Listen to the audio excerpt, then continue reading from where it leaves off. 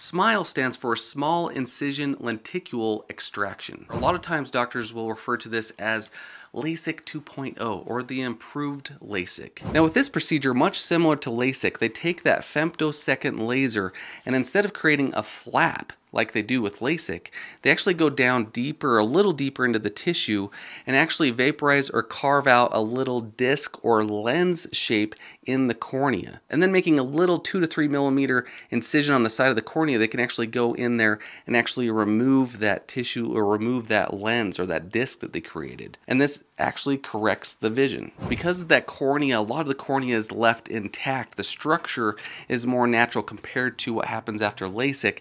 That is beneficial in the long run. And one of the benefits is actually the reports of dryness after the procedure.